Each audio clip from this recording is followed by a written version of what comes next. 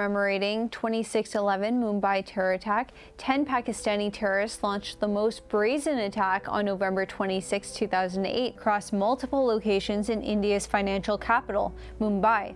The targets have been carefully selected two hotels, a train station, a cafe, and a local Jewish community center.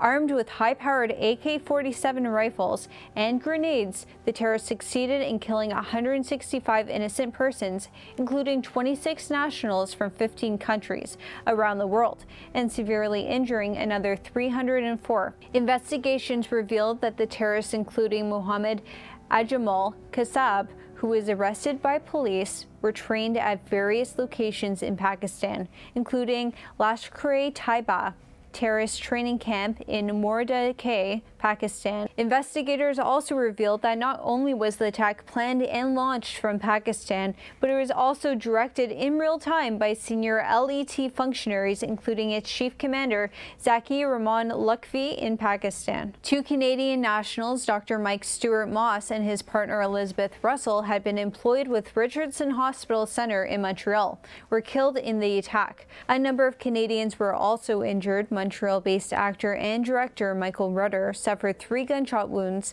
Helen Connolly, a yoga instructor from Markham, Ontario, sustained bullet injury. And Raynor Burke from Toronto narrowly saved his life by escaping from a broken window. Other Canadians were caught up in locations of the attack, including Manuela Testolini, an ex-wife of pop star Prince, and middle-aged Canadian couple Larry and Bernie who barricaded themselves in their hotel room to escape the terrorists.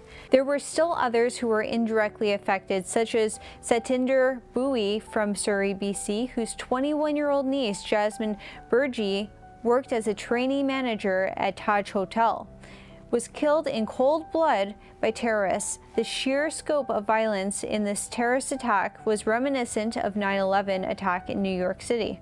The vicious terrorist attack, however, also brought forward tales of heroism. In contrast to the mindless targeting of innocents by the terrorists, the employees of the iconic Taj Hotel escorted people through the corridors to safety.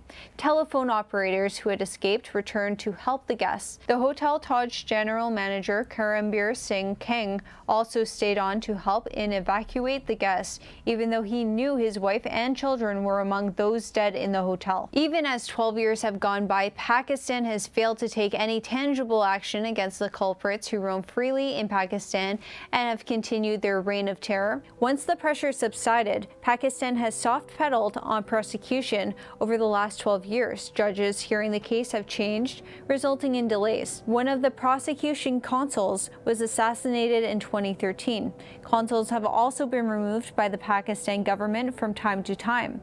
This is in sharp contrast to convicting within two months those who helped in tracing Osama bin Laden. Pakistan did not even ban LET until February 2018, and that too was done under pressure of Financial Action Task Force, FATF.